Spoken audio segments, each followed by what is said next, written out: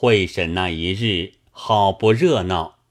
汪格父子相会，一段悲伤自不必说。看见对头却是二成兄弟，出自意外，倒吃一惊，方晓得这场是非的来历。行官审问时，二成并无他话，直指汪格所记洪公之书为据。汪格便道。书中所曰“秋凉见曰，原欲置买太湖县湖荡，并非别情。”刑官道：“汪公已在逃了，有何对证？”汪世雄道：“闻得洪公现在宣城居住，只拿他来审，便知端地。”刑官一时不能决。全将四人分头监候，行文宁国府去了。不一日，本府将洪公借到，刘清在外面以自买主介子，先将程彪、程虎根由背细与洪公说了。洪公料得没事，大着胆进院，遂将写书推荐二成。约汪格来看胡当，即汪家姬发薄了，二人不悦，并赠卷不受之故，始末根由说了一遍。汪格回书，被程彪、程虎藏匿不复，两头怀恨，遂造此谋，诬陷平人，更无别故。堂上官录了口词。向狱中取出汪家父子二成兄弟面证。程彪、程虎见洪公说的敌实了，无言可答。汪格又将何县尉停泊中途，诈称拒捕，以致上司激怒等因说了一遍。问官再次推居无益，又且得了贿赂。有心要周旋其事，当时判出沈丹，略云：审得犯人一名汪格，颇有侠名，原无反状，是因二成之私怨，妄解书词，既因何谓之论言，遂开兵信，查其本谋，实非得已。但不和不行告变，纠合凶徒，擅杀直官郭泽及土兵数人，情虽可原，罪实难宥。思其束手自投，显非抗拒，但行凶非止一人，具格自供当时逃散，不记姓名，而郡县申文。已有刘清名字，和行文本处访拿治罪，不可终成漏网。格子世雄知情与否，亦难悬断。然观吴为州守词与同恶相济者不谋，似以准字守立，孤从莫简。汪格赵律。改凌迟处死，仍枭首示众，绝不待时。汪世雄仗己发配二千里外，程彪、程虎守势妄言，仗己发配一千里外。据似兄党刘清等到后发遣，洪公共鸣释放，现为何能捕贼无才？罢官削籍，欲据复奏天子，圣旨依你。刘清一闻这个消息，预先漏于狱中，只劝汪格服毒自尽。汪格这一死，正应着肃宗城下小儿之歌。他说：“二六家人姓汪。”汪格排行十二也，偷个船儿过江，是指劫船之事。过江能几日？一杯热酒难当。汪格今日将热酒服毒，果应其言矣。古来说，童谣乃天上荧惑星化成小儿，预言祸福。看起来，汪格虽不曾成什么大事，却被官府大惊小怪，起兵调将，骚扰几处州郡，名动京师，忧及天子。便有童谣预兆，亦非偶然也。闲话休提。再说汪格死后，大理院官验过，仍将死尸枭首悬挂国门。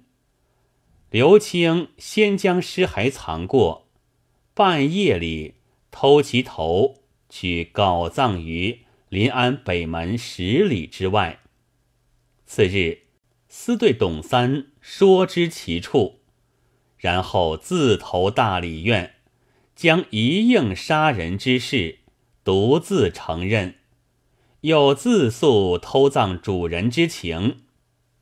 大理院官用刑严训，备诸毒苦，要他招出藏尸处，终不肯言。是夜受苦不过，死于狱中。后人有诗赞云：“从容就狱身亡法，慷慨捐生报主恩。多少朝中实录者，几人殉义似刘清。”大理院官见刘清死了，就算个完局。狱中取出汪世雄及程彪、程虎，决断发配。董三、董四在外已自使了手脚，买主了行账的。汪世雄皮肤也不曾伤损，程彪、程虎着实吃了大亏。又见介子也受了买主，一路上将他两个难为。行至中途，程彪先病故了，只将程虎借去。不知下落。那借汪世雄的得了许多银两，刚行得三四百里，将他纵放。汪世雄躲在江湖上，使枪棒卖药为生，不在话下。再说董三、董四收拾了本钱，往姑苏寻着了公四八，领了小孩子。又往太湖打渔人家寻了汪家老小，三个人扮作仆者模样，一路跟随，直送至延州遂安县汪师中处。汪福问之详细，感伤不已，拨宅安顿。公董等都移家附近居住，却有汪福卫护。地方上谁敢道个不字？过了半载，事件冷了。王世忠遣公四八、董四二人往麻地坡查理旧时产业，那边依旧有人造炭冶铁。问起缘故，却是钱四二为主，唱率乡民做事。就顶了汪格的故业，只有天荒湖渔户不肯从顺。董四大怒，骂道：“这反复不义之贼，嫩般享用的好，心下何安？我拼着性命与汪信之哥哥报仇。”提了坡刀，便要寻钱四二赌命。公四八止住道：“不可，不可。”他既在此做事，乡民都帮助他的，寡不敌众，枉惹人笑。不如回复诗中，再做道理。二人转至宿松，何其正在郭都监门首经过，有认得董四的，闲着口，对郭都监的家人郭兴说道：“这来的矮胖汉，便是汪格的心腹帮手，叫做董学，排行第四。”郭兴听罢，心下想到：家主之仇，如何不报？让一步过去，出其不意，从背心上狠的一拳，将董四一倒，急叫道。拿得反贼汪格手下杀人的凶徒在此，宅里奔出四五条汉子出来，街坊上人一拥都来，吓得公四八不敢相救，一道烟走了。郭兴招引地方，将董四被剪绑起，头发都闲得干干净净，一步一棍接到宿松县来。此时新县官尚未到任，何县尉有坏官去了，却是典史掌印不敢自专，转借到安庆李太守处。李太守因前番汪格反情不实，轻视重报，被上司埋怨了一场，不生懊悔。今日又说起汪格。头也疼将起来，反怪地方多事，骂道：“王阁杀人一事，奉圣旨处分了当，郭则性命已尝过了，如何又生事扰害？那典史与他起戒，好不小事。主教将董四放了，郭兴和地方人等一场没趣而散。”董四被郭家打伤，腹痛奔回遂安县去。却说公四八先回，将钱四二占了探野生业及董四被郭家拿住之事细说一遍。汪福夺道必然借郡，却待差人到安庆去替他用钱营干。忽见董四光着头奔回，诉说如此如此。若非李太守好意，性命不保。王福道：“举官府口气，此事已撇过一边了。虽然董四哥吃了些亏，也得了个好消息。”又过几日，汪福自引了家童二十余人，来到麻地坡。寻钱四二与他说话，钱四二闻知汪福自来，如何敢出头？带着妻子连夜逃走去了，倒撇下房屋家计。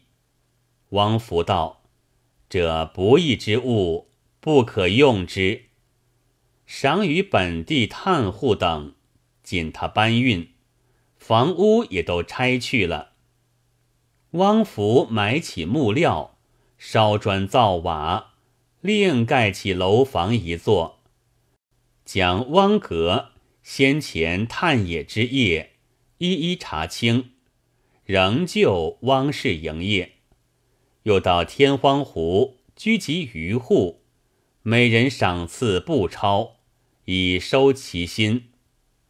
这七十里天荒湖，仍为汪氏之产。有央人向郡中上下使钱，做汪福出名，批了执照。汪福在麻地坡住了十个多月，百事做得停停当当，留下两个家人掌管，自己回遂安去。不一日，哲宗皇帝宴驾，新天子即位，颁下诏书。大赦天下，汪世雄才敢回家。到遂安拜见了伯伯汪师忠，抱头而哭。闻得一家骨肉无恙，母子重逢，小孩已长成了，是汪府取名，叫做汪千一。汪世雄心中一悲一喜。过了数日，汪世雄禀过伯伯，同董三到临安走遭，要将父亲骸骨奔归埋葬。汪福道：“此是大孝之事，我如何阻挡？但须早去早回。此间五江山广有细地，风水尽好。我先与你弃礼葬事。”王世雄和董三去了，一路无事。不一日，复古而回，重备棺木并列，择日安葬。事毕，汪福向侄儿说道：“麻地坡产业虽好，你父亲在彼错了威风，有地方多有仇家，公四八和董三、董四。”多有人认的，你去住不得了。我当初为一句闲话上，触了你父亲，憋口气走向麻地坡去了，以致弄出许多事来。今日将我的产业尽数让你，一来是县城事业，二来你父亲坟茔在此，也好看管，也叫你父亲。在九泉之下消了这口怨气。那麻地坡产业，我自宜家往彼居住，不怕谁人奈何的。我汪世雄拜谢了伯伯。当日，汪府将遂安房产账目尽数交付汪世雄明白，同仆也分下一半，自己领了家小。向麻地坡一路而去。从此，遂安与肃松分作二宗，往来不绝。汪世雄凭借伯伯的才识，地方无不信服，只为妻张氏复火身死，终身不娶，专以训儿为事。后来。汪千一中了武举，直做到亲军指挥使之职，子孙繁盛无比。这段话本叫做《汪信之一死救全家》，后人有诗赞云：“烈烈轰轰大丈夫，出门空手立家模，情真义士多帮手。”赏博骁人起意图，仗剑报仇因破例，挺身救狱为权奴。汪福让宅真高义，千古传名世岂污。